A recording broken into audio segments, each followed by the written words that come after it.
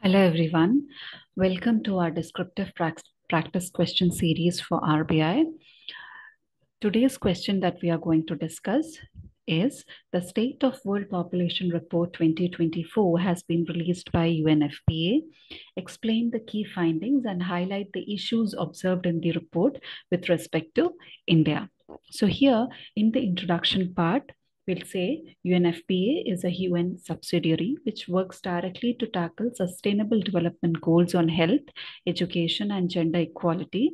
And the theme for 2024 State of World Population Report is Interwoven Lives, Threads of Hope, Ending Inequalities in Sexual and Reproductive Health and Rights. So, this is the small introduction part for this answer. Let's quickly see the key findings of this answer. So I have divided the uh, observations made by the uh, report into five subheadings. So the first part is about the population. As you all aware that India leads globally with an estimated population of 1.44 that is followed by China and India's population in 2020 in 2011 uh, was 1.21 billion. And the report actually reveals that India's population is going to double in 77 years.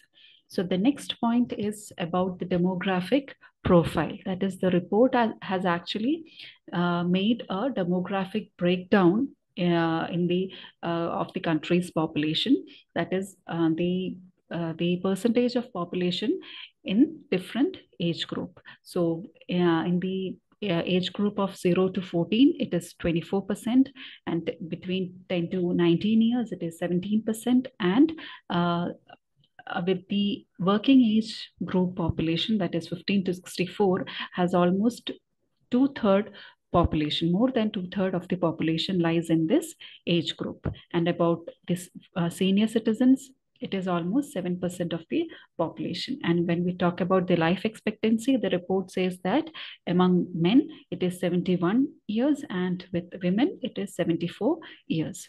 So the next point is about the progress in sexual and reproductive health. So the report says that over the past 30 years, uh, India and across the globe, uh, the countries have actually made significant strides and the global rate of unintended pregnancies has fallen substantially by nearly 20% globally. And the number of women who are using modern contraceptive methods has also doubled. So uh, with respect to the uh, countries, uh, that is almost a large number of countries have adopted laws that against domestic violence, maternal deaths, and uh, the maternal deaths have actually decreased by 34% since 2000. So now comes the persistent inequalities. So having said that, that we have uh, made several several uh, progress with respect to this, the several parameters in this sector. Uh, despite the progress, millions are still denied their health and rights every day. There is gender-based violence. It actually uh, is rampant in every in practically in every country and community, and uh, there has been uh, there are countries there are many countries where uh, there has been zero reduction in maternal mortality since 2016 and in an alarming number of countries the rates are actually rising nearly half of women still are unable to make decisions with respect to their own bodies. Then it talks about the marginalized communities, the groups. So it says that although women across socioeconomic classes and ethnicity says that uh, compared to the earlier uh, happenings, uh, barriers to health care have come down over the period of time but the women most uh, the women coming from most marginalized have experienced the least improvement. So, especially the indigenous group of women are often denied culturally appropriate maternal health care, and their own childbirth practices are mostly they, they are criminalized in several societies. So it results in higher risk of death in pregnancy and childbirth. So these are the key observations made by the report, and we will see that what all are the concerns uh, given by the report. So first we'll talk about the discrimination and stigma.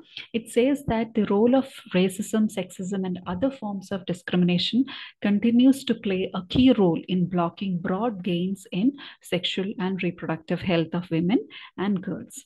So the people uh, who the women and, and girls actually with disabilities, they face up to 10 times more gender-based violence while also facing higher barriers to sexual and reproductive information and care. And uh, the minority group that co comes under this LGBTQIA plus face serious health disparities that is coming from the stigma and discrimination associated with this group of people. Then comes the health and social challenges. So the report says that 30 years of progress in social and reproductive health has mostly ignored the most marginalized communities worldwide. According to it, the child marriage percentage in India was at 23%, that is quite higher between 2006 to 2023. The maternal deaths in India have fallen considerably, uh, but the report noted that India continues to see inequities in maternal death risk. So the maternal uh, mortality rates have significantly decreased, but still it is present. Uh, it, it shows basically a va vast regional disparity in our country. For example, the highest MM maternal mortality rate of 1,671 per 1 lakh birth is seen in Tirap district. This is a small example. It says that uh, there is a higher proportion of uh, maternal mortality rates among indigenous people.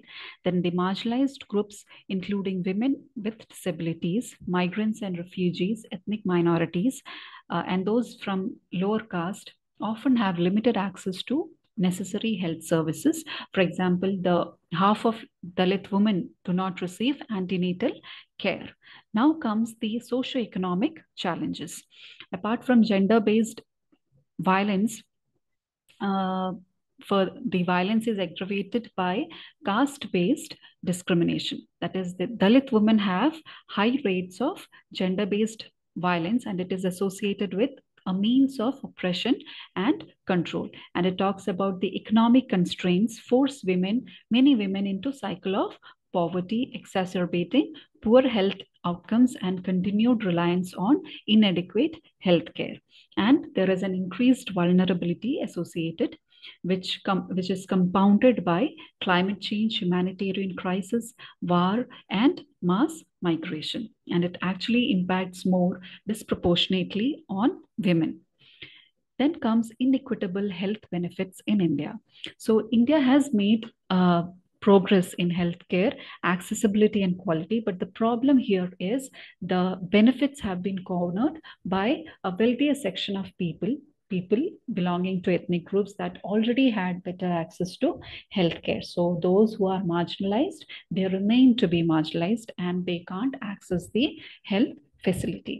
Now, uh, when we when we talk about the global health trends, it says that progress on key health measures of women is slow slowing or completely stalled, with 800 women still dying daily from childbirth related causes, and many lacking autonomy over their sexual and reproductive decisions. So these are the findings and the key concerns highlighted by the report. And in the conclusion part, we will say that the report suggests that to fulfill the promise of universal sexual and reproductive health and rights, one needs to root out inequalities, inequities from our health systems and policies and focusing, giving more focus to those women and young people who are most marginalized and excluded.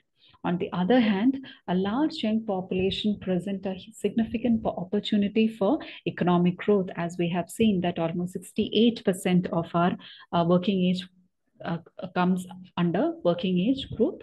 So we have to we have to utilize them and direct them into for a better economic growth and development. Hence, there is a need for continued effort in improving health and social outcomes, especially with respect to the most marginalized communities.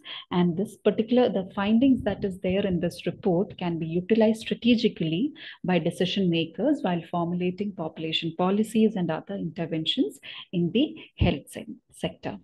So this is it for today. Thank you so much.